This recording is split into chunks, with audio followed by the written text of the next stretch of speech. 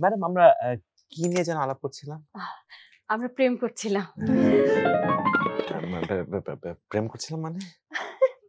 মানে হচ্ছে আমরা প্রেম নিয়ে আলাপ করছিলাম। ও হ্যাঁ হ্যাঁ। আচ্ছা ঠিক আছে আলাপ শেষ করি। আপনি তো আবার খুব হ্যাঁ, হ্যাঁ, হ্যাঁ। প্রেমময় মানুষ। আমরা মানে আমি যে কথাটা বলছিলাম সেটা হচ্ছে যে মুক্তিযুদ্ধ চলাকালীন অবস্থায় একজন পাকিস্তানি সৈন্যের সাথে কি প্রেম হতে পারে? অবশ্যই পারে। সব পাকিস্তানি সৈন্যরা কি খারাপ নাকি? অবশ্যই না। মানে যারা স্পেশালি যারা একাত্তরের পরে জন্মগ্রহণ করেছে অথবা শুনুন শুনুন এসব ফালতু সব কথা বলে না আমার ছবিটা বন্ধ করে রেখেছে। তাও তো ভালো ম্যাডাম যে আপনার ছবিটাকে সেন্সারে আটকায়নি। দেখুন, আমি সেন্সার একদম বিশ্বাস করি না। সবচাইতে বড় বিচারক হচ্ছে দর্শক। দর্শকই বলবে যে কোন ছবিটা হলে চলবে, কোনটা চলবে না, কোনটা জনপ্রিয় হবে, সব দর্শকের উপর নির্ভর করে। অসাধারণ ম্যাডাম। না, আপনার কথা অনুযায়ী আমার দেশে আসলে আইন কানুনের কোনো দরকারই নেই। মানে আপনার কথা মতে তো পুলিশও বলতে পারে যে, চোর ডাকাত, আমরা ধরবো না। খুনি, আমরা ধরবো না। অ্যাসিড নিক্ষে- নিক্ষেপকারী, আমরা ধরবো না। জনগণই বিচার করবে ওদের কে থাকবে কে থাকবে না, ওদের কি হবে। এর মানে কি? মানে এর মানে হচ্ছে ম্যাডাম দেশে কিছু আইন আছে মানে সবাই চাইলেই যে কোনো কিছু দেখাতে পারে না। দেখুন এসব ফালতু কথা বলে না আমার ছবিটা বন্ধ করে দিয়ে একটা শৈল্পিক কাজের গতি রোধ করা হয়েছে।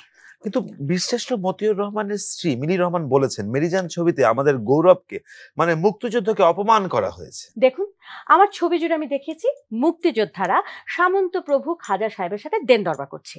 তারা ঠিক করছে যে তারা পাকিস্তানিদের বিরুদ্ধে কোনো অ্যাকশন নেবে কিনা? এবং খাজা সাহেব চান না যে তার গ্রামে কোনো গন্ডগোল হোক। ম্যাডাম, এটাই যদি অবস্থা হতো তাহলে আমাদের বাংলাদেশ কখনোই স্বাধীন হতো না।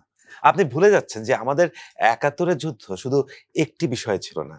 মানে পাকিস্তানের জাতিগত শোষণ বা সামরিক শাসন বা বৈষম্যের বিরুদ্ধে আমরা যুদ্ধ করিনি। আমরা পুরো আপামট পাকিস্তানি যে কালচার যে নৃশংসতার যে সংস্কৃতি, সেটার বিরুদ্ধে আমরা যুদ্ধ করেছি।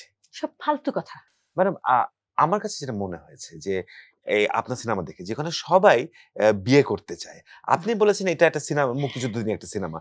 আসলে আমার কাছে মনে হচ্ছে এটা বিয়ে নিয়ে একটা সিনেমা। আপনি একদম ঠিক ধরেছেন। আমি জানি আমি দেখলাম ওখানে একটি ছেলেও আরেকটি ছেলেকে বিয়ে করতে যাচ্ছে।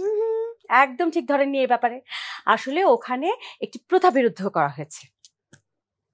কি ধরনের? মানে আমি শুরুতেই বলেছিলাম যে এটি একটি পারিবারিক ছবি। আমি আসলে এই ছবিটার মাধ্যমে না আমার ফ্যামিলিকে মানে আমি আমার ফ্যামিলিকে একটা মেসেজ দিতে চেয়েছি। কি মেসেজ?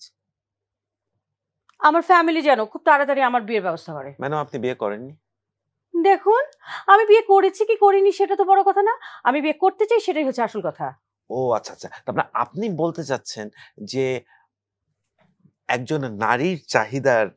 ক্ষেত্রে তার পার্সোনাল মেসেজটা দেওয়ার জন্য যে কোনো মাধ্যম যে কোনো কিছু ধরাছোঁয়ার বাইরে নয় মানে মুক্তিযুদ্ধ ধরাছোঁয়ার বাইরে নয় এখানে নারী বলে ব্যাপার না একজন মানুষের ক্ষেত্রে আচ্ছা আচ্ছা আপনি ভুল বলছেন হ্যাঁ। তাহলে তাহলে ম্যাডাম তাহলে আমি যদি একটি নারী পাচার করে যে তাকে হিরো হিসেবে কাস্টিং করে আমার নিজের বিয়ের মেসেজ দেওয়ার জন্য একটা সিনেমা মানে সেটা কেমন হবে আইডিয়া তো ভালো।